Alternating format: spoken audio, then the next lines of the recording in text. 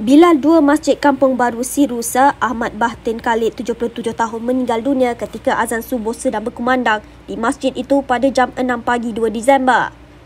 Ahmad Bahtin sedang membetulkan sejadah sebelum dia rebah di atas sejadah berkenaan. Pengerusi masjid Tusiran Pesan berkata sepatutnya Allah Yarham yang melaungkan azan namun dia terlewat sedikit tiba ke masjid. Menurut Tusiran, Ahmad Bahtin menjadi bila di masjid berkenaan sejak 1980-an.